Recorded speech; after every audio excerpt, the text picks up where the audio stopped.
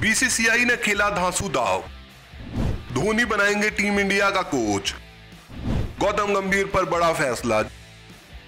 जी हाँ दोस्तों team India को हेड कोच की तलाश है। इस टी ट्वेंटी वर्ल्ड कप के बाद राहुल द्रविड़ टीम इंडिया के हेड कोच पद से इस्तीफा दे देंगे और टीम इंडिया को नया कोच मिलेगा। ऐसे में बीसीसीआई ने नए कोच के लिए आवेदन भी शुरू कर दिए हैं।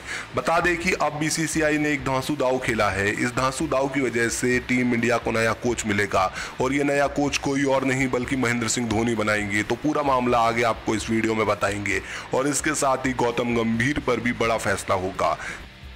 बीसीसीआई ने खेला धांसू दाव। जी हाँ दोस्तों, टीम इंडिया के हेड कोच पद के लिए बीसीसीआई ने धांसू दाव खेल दिया है। आपको पता है कि पिछली बार जब टीम इंडिया का हेड कोच ढूंढा जा रहा था तो वहाँ पर राहुल द्रविड़ हेड कोच बनने के इच्छुक नहीं थे। लेकिन फिर भी बीसीसीआई ने उनको बहुत ज़्यादा आग्रह किया और उसके बाद राहुल द्रविड़ ने कोचिंग पद संभाला। हमें याद है किस तरीके से सौरव गांगुली ने राहुल द्रविड़ के साथ खूब सारी मीटिंग की थी और उन्हें मनाया था कि वह एनसीए का पद छोड़कर बीसीसीआई के हेड कोच के पद की ज़िम्मेदारी संभाले।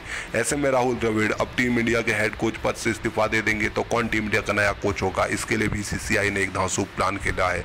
जो काम सौरव गांगुली ने किया था, वही काम अब भारतीय टीम का एक दिग्गज कप्तान करेगा, जिसने टीम इंडिया को दो दो वर्ल्ड कप जिताए थे, एक चैंपियंस ट्रॉफी जिताई थी। हम बात कर रहे हैं महेंद्र सिंह धोनी की। जी हाँ दोस्तों, महेंद्र सिंह धोनी अब टीम इंडिया को नया कोच देंगे। महेंद्र सिंह धोनी के एक फैसले की वजह से टीम इंडिया को नया कोच मिलेगा। महेंद्र सिंह धोनी बीसीसीआई की मदद करेंगे, टीम इंडिया का नया कोच बनाने में।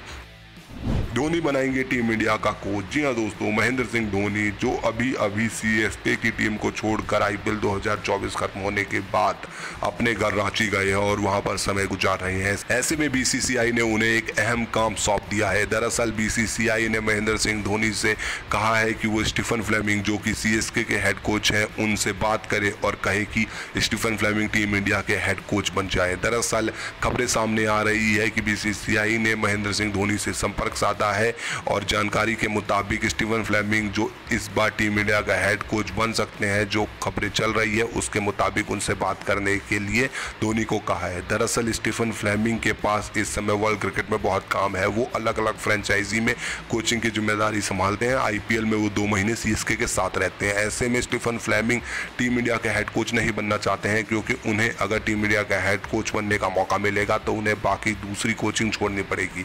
और इसके साथ ही उनका जो स्केड्यूल है वो बहुत ज़्यादा व्यस्त हो जाएगा।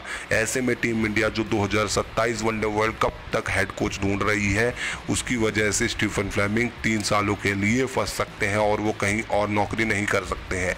ऐसे में बीसीसीआई के लिए स्टीफन फ्लेमिंग अब अपने पुराने या फिर दूसरे, जो दूसरी लीगों में कोचिंग की ज़िम्मेदारी संभालते हैं, उन्हें नहीं छोड़ना चाहते। ऐसे में बीसीसीआई महेंद्र सिंह धोनी को कह रहा है कि वो स्टीफन फ्लेमिंग से बात करे और स्टीफन फ्लेमिंग को मनाए। बता दें कि महेंद्र सिंह धोनी चेन्नई के लंबे समय तक कप्तान रहे हैं और उनके साथ कोचिंग की भूमिका निभाई थी स्टीफन फ्लेमिंग ने। दोनों की जोड़ी ने सी को कई बार चैंपियन बनाया और दोनों के बीच आपस में काफ़ी बनती भी है।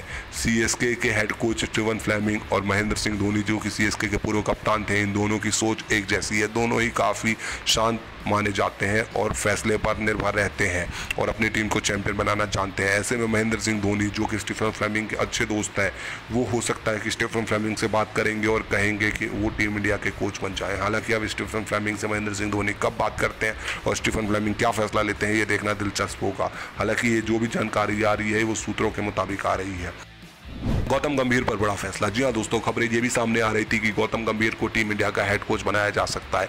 हालाँकि अभी ये सारी बातें अलग है, क्योंकि इस बार टीम इंडिया एक नहीं, दो कोच देख रही है। हो सकता है कि टीम इंडिया को दो कोच मिले। एक कोच टीम इंडिया के लिए सफ़ेद गेंद की क्रिकेट में मोर्चा संभालेगा और एक कोच टीम इंडिया के लिए लाल गेंद की क्रिकेट में मोर्चा संभालेगा। तो अब गौतम गंभीर क्या वो कोचिंग एक्सेप्ट करेंगे, ये भी देखना दिलचस्प होगा, क्योंकि गौतम गंभीर आईपीएल में के के साथ जुड़े हुए हैं। अगर गौतम गंभीर टीम इंडिया के हेड कोच बन जाते हैं तो उन्हें के के आर के साथ जो भूमिका निभा रहे हैं, वो भी छोड़नी पड़ेगी। तो दोस्तों, अब देखना दिलचस्प होगा कि आगे क्या फैसला लिया जाता है। आप इस मामले पर क्या राय रखते हैं, कॉमेंट बॉक्स में ज़रूर बताइए। वीडियो पसंद आया और लाइक कीजिए, शेयर कीजिए, क्रिकेट सूत्रा को सब्सक्राइब कर नोटिफिकेशन की घंटी ज़रूर बजा दीजिए।